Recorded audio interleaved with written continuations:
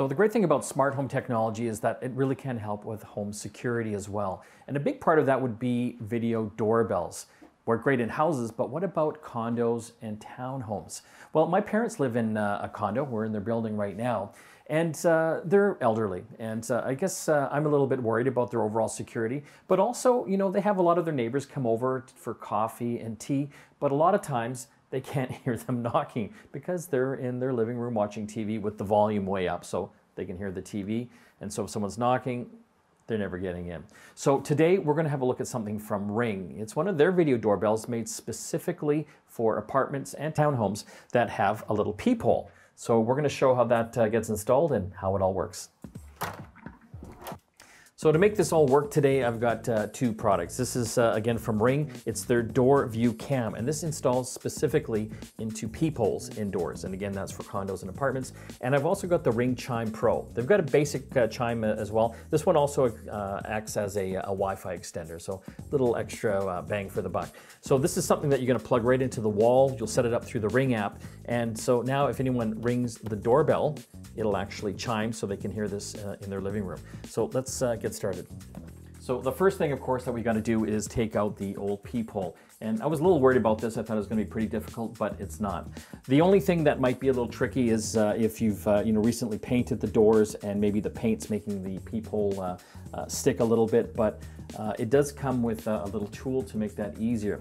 So basically, you use the tool. There's actually two notches in the uh, the peephole here itself. What you want to do is stabilize the front part, and that's what I'm doing out here, and then put it in the notch. It's almost like a screwdriver. You're going to unscrew it. And once it's got past the initial part, you can do it by, by hand. So I'm just going to keep going here. Presto Kazinga. It's completely out. So now we've got a hole, and this is the part where we're going to stick the new Ring video doorbell in. Okay, next we're going to uh, put these pieces together here, and I'm actually going to take the cover off the back because uh, that's going to be a part of it. Stick that in my back pocket. And here we go. And this is going to go through the front part. And if the hole is too big, they actually have another little uh, round spacer in there that can tighten that up. So now that we've done that, uh, what we're going to do is we're going to continue to push that right through here and then pull this piece out. So you gotta be delicate here. There's a connector here and on the back of this gray little plastic piece is the corresponding connector. So you just wanna kind of put it in there and push it in until it clicks. And then, see there's a little arrow on this here? Just kind of pull this down until it clicks down here. Next step, the rechargeable battery. And uh, I've uh, fully charged this uh, with the USB connector that came with the uh, package.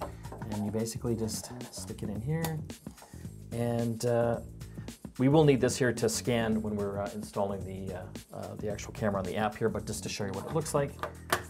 There we go. And this is like a little privacy thing here. So you're still able to look through the peephole to see who's out there. Uh, but again, there is a video camera on the front. Let's just check that out.